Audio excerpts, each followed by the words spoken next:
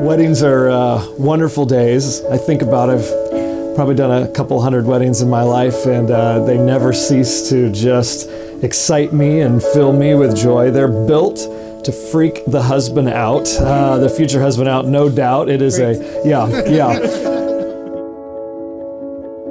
Four years ago today, to this day, four years ago, we had our first date. We had met several weeks before when I gave you a hard time about closing out your tab so early in the night. Since that moment, I was convinced you were the woman I had been searching for my entire life.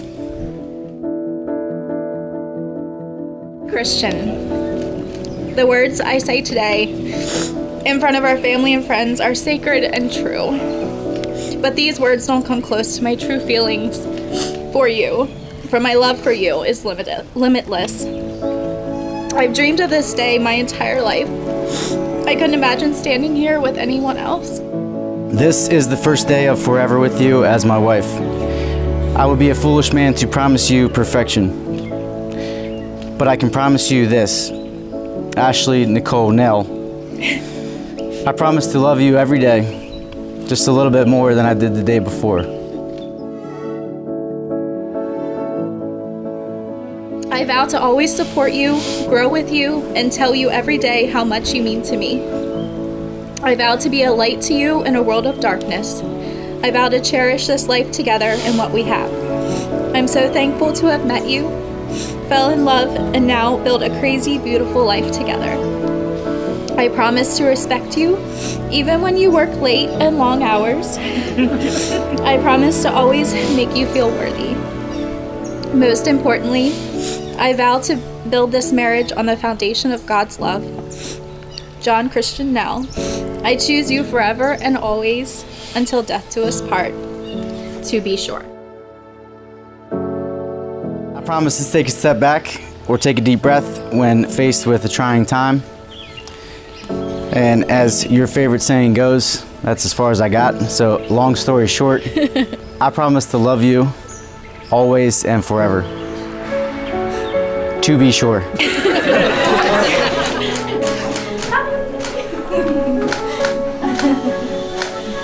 look nice. I like the tie.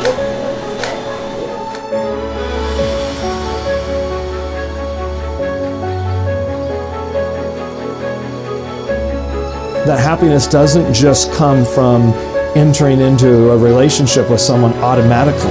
Most people believe getting married is this myth um, of a relationship that's like a beautiful box full of all the things I've ever longed for companionship and intimacy, friendship, encouragement, and support.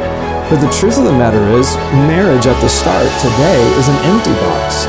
You must put something in before you can take something out. There's no love in marriage, love is in people, and people put it into marriage.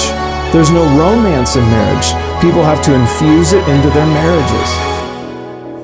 Now, by the authority given to me as a minister of the gospel of Jesus Christ, I pronounce you husband and wife. You may kiss your bride officially.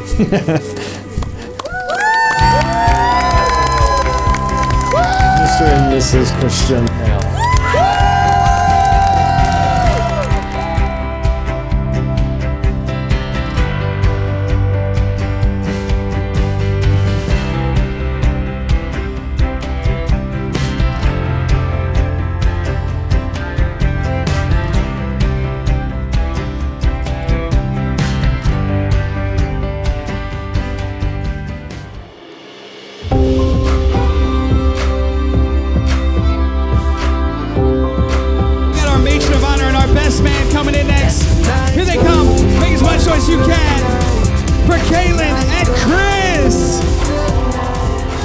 Together for the one and only Mr. and Mrs. Now. flows through. Love is the arms that are holding you, and love is the place where we fly to. Love never fails you.